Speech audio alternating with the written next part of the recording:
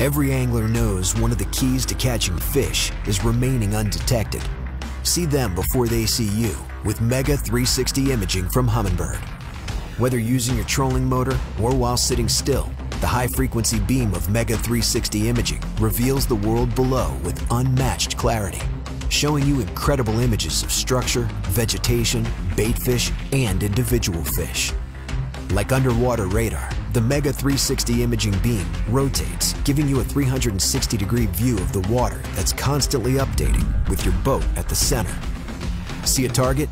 Mark a waypoint directly on your Mega 360 imaging screen and let range rings show you the distance from your boat to the target. Then, position your boat and cast exactly where the fish are. Choose from five beam rotation speeds for the right balance of image quality and refresh rate. You can customize your sweep area from 360 degrees down to 10 degrees. Use preset view options, like in front of your boat, to find and cast to productive spots without spooking fish. The different shades on the Mega 360 imaging screen provide more detail about what lies below and around your boat. The brighter the color, the stronger the sonar return from the objects below. For example, softer bottom or deeper water appears in darker shades while lighter shades indicate a hard bottom or shallower areas. Sonar shadows are something else to look for.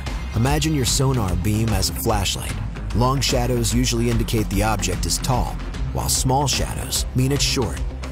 Once you've found structure, see if it's holding fish. Bait fish will show up as a tight cluster of returns, while game fish will appear as bright, solid marks, often associated with a sonar shadow on the bottom. The distance between the mark and the shadow will tell you how far the fish is from the bottom, so you can cast accordingly.